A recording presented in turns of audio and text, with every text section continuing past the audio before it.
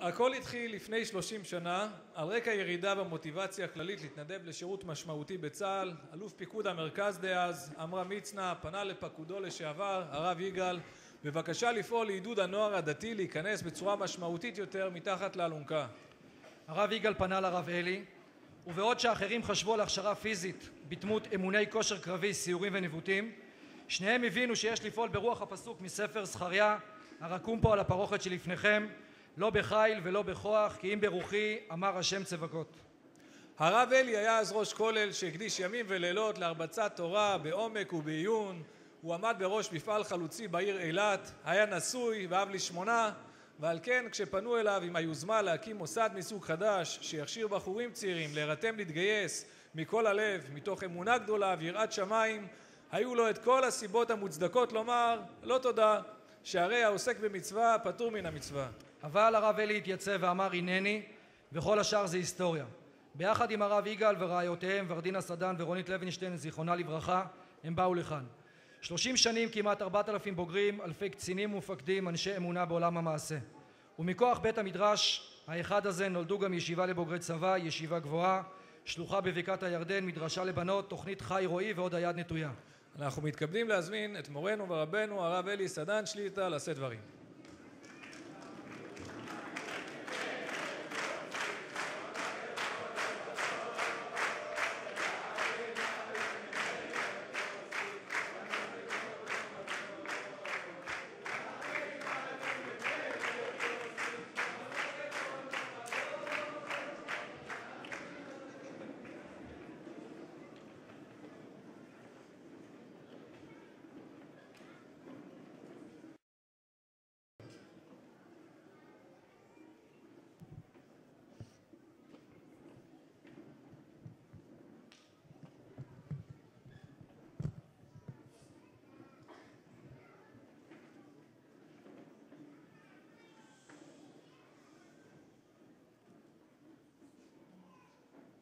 ברוך אתה אדוני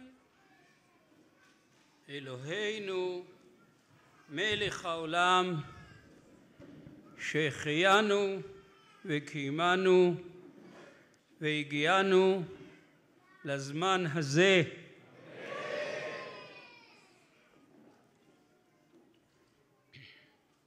זה ברכה שמברכים כשיש שמחה גדולה והבוקר פתחתי גמרא מיוחדת מועד קטן דף ט. שם מבואר ויעש שלמה בעת ההיא את החג וכל ישראל עמו קהל גדול מלבוא חמד עד נחל מצרים לפני השם שבעת ימים ושבעת ימים ארבע עשר יום. והגמרא מבארת שברגע שנגמר בית המקדש שלמה לא רצה לחכות אפילו רגע אחד ועשה שבעה ימים חנוכת הבית. אלא מה? בתוך שבעת הימים האלה היה יום כיפור אומרת הגמרא נו אז מה הבעיה? ביום כיפור שלא יאכלו ולא ישתו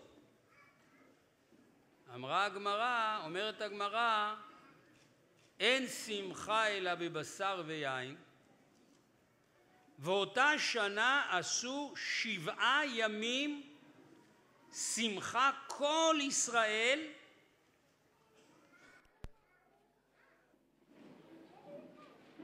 אומרת, אמר רבי יוחנן, אותה שנה לא עשו ישראל את יום הכיפורים. אכלו ושתו ביום הכיפורים, והיו דואגים ואומרים שמא חס ושלום נתחייבו שונאיהם של ישראל כליה.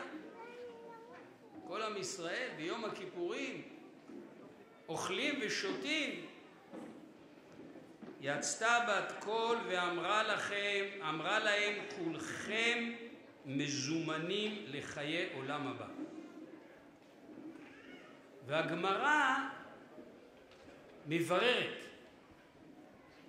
ולשון הגמרא הוא מאוד מעניין. הגמרא דנה למה הכי להם יום הכיפורים. כלומר, צריך פה מחילה מיוחדת. היה אפשר לומר, שלמה היה נביא. היה אפשר להגיד, שלמה המלך, בהוראת שעה, אמר בנבואה, לא, יום הכיפורים הזה צריך לשמוח לפני השם, לאכול ולשתות. לא. משמע מהגמרא שזה לא קרה כך.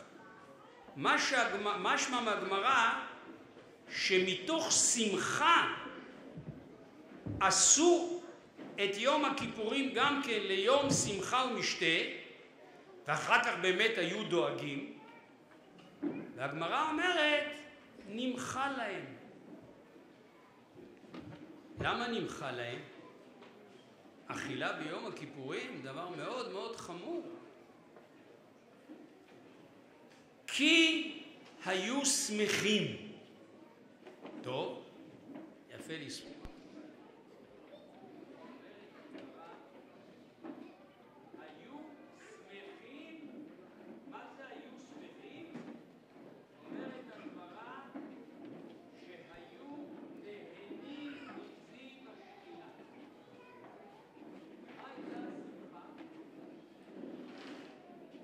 ועשו לי מקדש ושכנתי בתוכם. כשנגמר בית המקדש, ירדה שכינה ושרתה בתוך עם ישראל. אז ישראל ממה הם שמחו? שמחו מנהנו מה, מהשמחה שהקדוש ברוך הוא משרה שכינתו בתוכנו. נהנו מהשכינה. אגב, ההחלטה המיידית שקיבלתי מהגמרא הזאת, קודם כל, אני, כמו שאתם יודעים, בארץ ישראל אני לא נוהג ללבוש חליפה. חוץ לארץ צריך להתנהג כמנהג המקום, אבל בארץ ישראל אני לא נוהג ללבוש חליפה, אני לא רב חשוב, כולו מחנך, וחוץ מאשר בחופה. למה בחופה? כי כתוב בכל הספרים, חופה יש השראת שכינה. זכו שכינה ביניהם, ויש כאלה מפרשים, זכו זה מלשון אה, זיכוך. חתן וכלה מגיעים לחופה אחרי תשובה, אחרי צום, אחרי שנמחלו להם כל עוונותיהם ובונים מקדש מעט השראה לשכינה, אז אה, שכינה ביניהם. נו, אתה עומד ו... יוצר בית שמורידה את השכינה לתחתונים, אז צריך אה, להיות לבוש אה, כמו שראוי אה, עם השכינה. אמרתי לעצמי, קל וחומר. גם הגמרא פה עושה קל וחומר מהמשכן למקדש, לא ניכנס לכל הגמרא. אבל קל וחומר, אם בחופה, אז כאשר חונכים בית מדרש, שהוא מקדש מעט, בית כנסת ובית מדרש, כדי להשרות שכינה בישראל ועשו לי מקדש ושכנתי בתוכם אז אה, קל וחומר שראוי לשמוח שמחה עצומה וראוי לכבד את המעמד. כי באמת אנחנו לא שמחים בקירות, באבנים, בתאורה. אנחנו שמחים בהשראת השכינה אגב, אני מוכרח לומר עוד משפט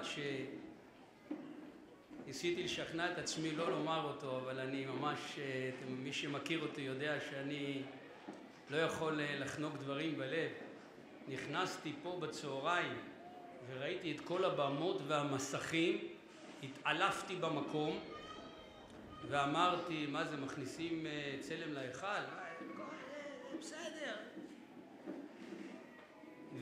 אבל ידעתי שאם אני אגיד לליאור להוציא את הכל החוצה, אז הוא במקום יקבל התקף לב ופיקוח נפש, זה כבר חשבון אחר.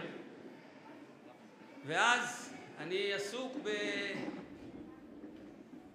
תוך כדי האירוע הזה, מינה להם להכיל להם יום הכיפורים בגלל שהם שמחו מזיו השכינה. הקדוש הוא גם ימחה לנו על זה שהכנסנו פה יותר מדי אה, חיצוניות וכי זה הכל בשביל לשמוח מזיו השכינה. ואני רוצה להעיד על כל צוות ההוראה בבני דוד לדורותיו. מעולם לא חשבנו שיש חשיבות לצד החיצוני. למען האמת הרב יגאל שנים נלחם ולא סתם לקח לנו שלושים שנה עד שפשוט כבר לא הייתה ברירה כי שום אולם בכל, בכל עלי לא מסוגל להכיל את כמות התלמידים שמגיעים למכינה אבל באמת ראוי לשמוח שיהיה המקום הזה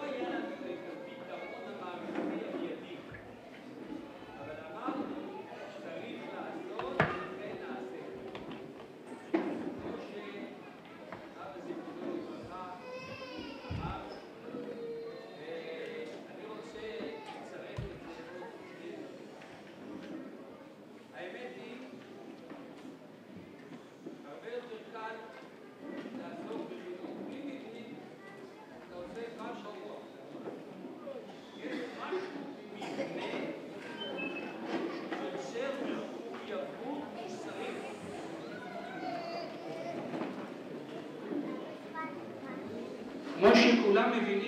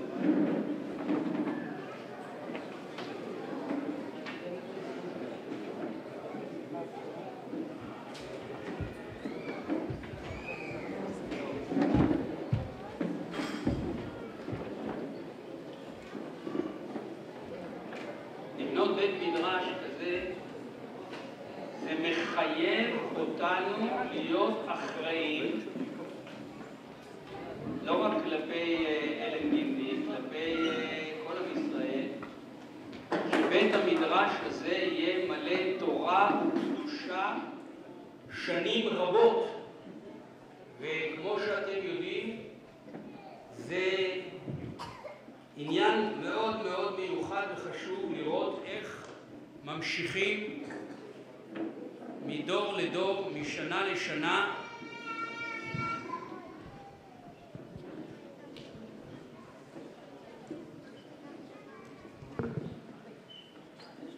מאוד מאוד התחברתי למילים של אלי גרונר.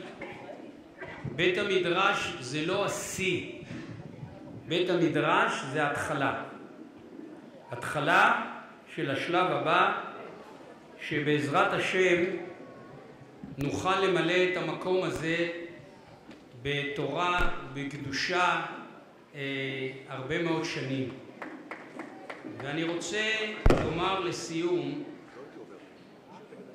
רעיון אחד ששמעתי ממורי ורבי הרב טאו לפסוק שאנחנו אומרים עכשיו כל יום בהלל, שמופיע פה על המצג, אבן מעשו הבונים הייתה לראש פינה.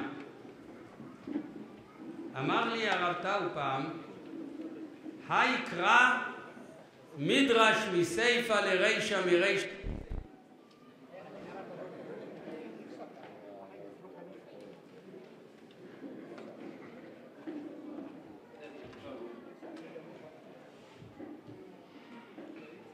אל תקרי בנייך אלא בונייך אה, בונייך אלא אלו אה, תלמידי חכמים הבונים של האומה וכאשר אה, לפני כמאה עשרים שנה באו לכאן לארץ כל מיני טיפוסים שלא נראים בדיוק בסגנון יהודי מקובל, להשתמש בעדינות איך נראו אנשי עלייה שנייה, והתחילו כאן לבנות את הארץ, אז uh, הייתה פה הרגשה שהבונים מאסו בהם, ויש בונים שעד היום מואסים באלה שבונים את האבנים. כי עיקר בניין עם ישראל זה השראת השכינה, עיקר בניין עם ישראל זה תורה, זה קדושה, זה עבודת השם. איך אפשר לחשוב שאפשר לבנות את הארץ בלי זה? ואז נוצר ניתוק בין הבונים ובין אלה שבנו אבנים. התחילו בחומר לבנות את מדינת ישראל, את העם היהודי מצד החומר. עד כאן פירוש רגיל שהרבה מפרשים אותו. אבל אפשר גם לפרש ההפך. הבונים אלה אותם אנשים שבנו את המדינה, שרבים מהם היה להם בראש כל מיני רעיונות משונים, איך צריכה להיראות מדינת ישראל. הם עשו עבודה גדולה, הם בנו את הארץ, את המדינה, את הצבא, אבל משם רואה אבן ישראל, אב ובנים, אברהם יצחק, אבן, מה עשו הבונים? יום אחד הולך ומגיע הזמן שהייתה לראש פינה. הוותיקים כאן מכירים, זה העצם הלוז שעליו הוקמה מכינת בני דוד. גם במציאות של היום, שעדיין האבן, האב ובני, תורת ישראל, מורשת אברהם יצחק, אברהם יצחק ויעקב זה ישראל. יש לא מעט שמואסים בה. היא צריכה יכולה, ובוודאי היא תהיה לראש פינה. אלא